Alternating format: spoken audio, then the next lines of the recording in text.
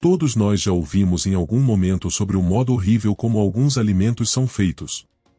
Mitos sobre gatos em comida chinesa e fezes de rato no molho de espaguete têm feito as pessoas revirarem o estômago e as impediram de aproveitar sua comida.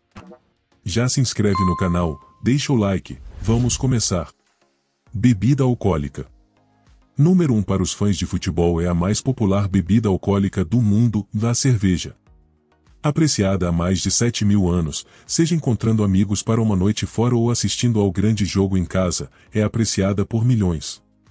Muitas pessoas pensam na cerveja em termos de lúpulo, cevada, água e fermento, mas não consideram outros aditivos. Então, o que mais pode estar na sua cerveja? Possivelmente uma substância chamada isenglas.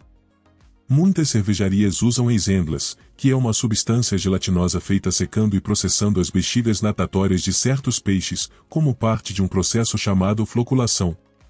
O ex-endless ainda é usado porque pode fazer com que as cervejas pareçam mais claras e brilhantes durante a fabricação.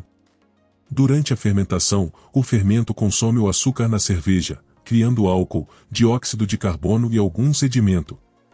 Quando o processo é concluído, alguns cervejeiros colocam ex-endless na cerveja porque ele prende quaisquer partículas de fermento flutuantes em uma espécie de geleia, que então afunda para o fundo do líquido.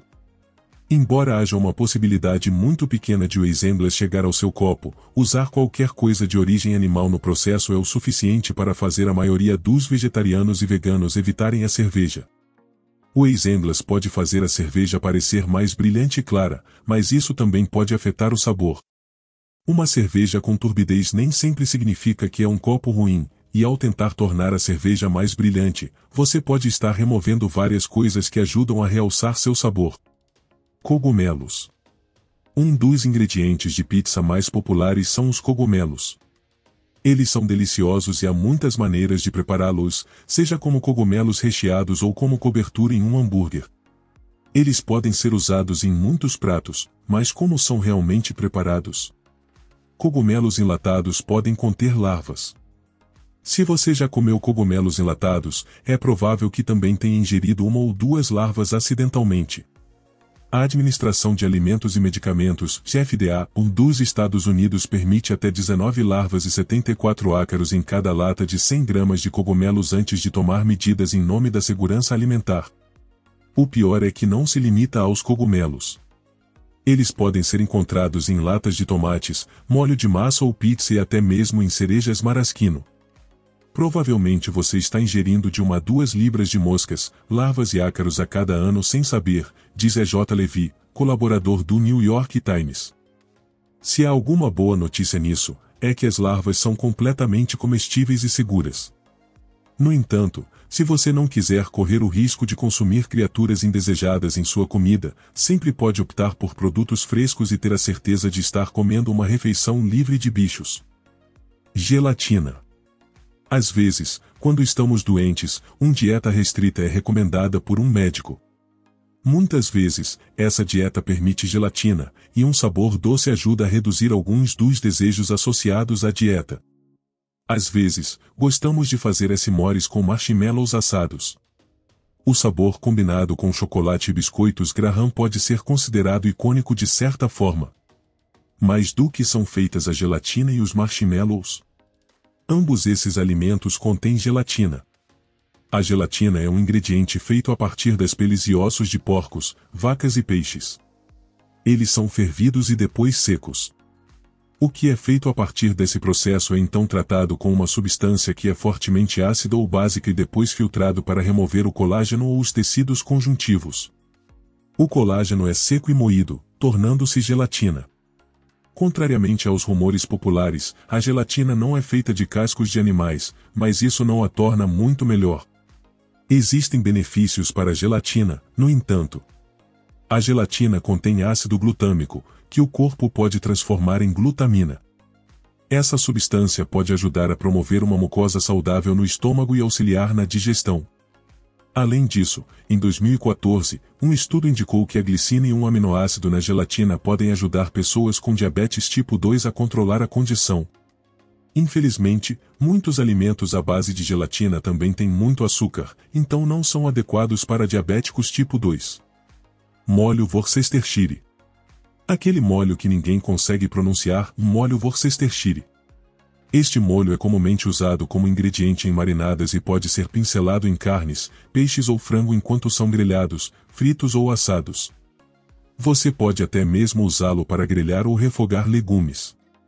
O molho Worcestershire também pode ser usado como condimento em sanduíches e frutos do mar, ou como tempero para saladas. Então, o que há dentro desse famoso molho? Anchovas. Sim, o verdadeiro molho Worcestershire inclui ingredientes como cebolas, melaço e muitos temperos, sendo as anchovas o principal ingrediente. Mas o molho não contém apenas qualquer anchova. Ele contém anchovas que foram fermentadas em vinagre por cerca de 18 meses. Como esse processo foi descoberto é ainda mais repugnante. Lea Perrins foi a primeira empresa a produzir o molho Worcestershire e começou nos anos 1830. Uma das primeiras tentativas dos químicos Lea Perrins foi tão horrível que eles a colocaram na adega e a deixaram lá. Meses depois, quando foram despejá-la, eles a experimentaram primeiro. Por que eles fizeram isso, não sabemos, mas o que sabemos é que descobriram que havia amadurecido em algo bastante delicioso. Além do fato de muitas pessoas não gostarem de anchovas, é difícil pensar no fato de que elas ficaram de molho em vinagre por um ano e meio para fazer um molho que eles usam comumente. Talvez na próxima vez eles pensem apenas em adicionar alguns temperos ao bife em vez disso. Coelhinho da Páscoa. Você já comeria goma laca? Se você não sabe o que é, é a mesma substância que tem sido usada para adicionar um acabamento transparente a móveis de madeira, junto com a fixação de joias e reparação de cerâmica quebrada. A goma laca vem do inseto preto fêmea, o besouro de lac. Ele suga a seiva de árvores e depois secreta uma resina que é colhida de onde é depositada nas árvores. É processada, dissolvida em etanol e depois pulverizada no que precisar dela. Um dos alimentos que precisa disso são os feijõezinhos de gelatina. Revestir feijõezinhos de gelatina com goma laca mantém o interior deles macio e o exterior brilhante, firme e mais resistente à fusão.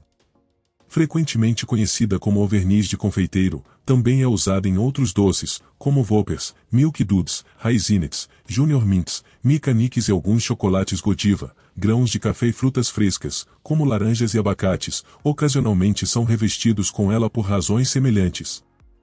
São necessários cerca de 150 mil insetos para secretar resina suficiente para produzir apenas uma libra de goma laca. E se há algum consolo é que a resina do inseto lac não é fezes. As pessoas confundiram a palavra secreção com a palavra excreção porque são parecidas, levando à ideia errônea de que a goma laca é feita de cocô de inseto.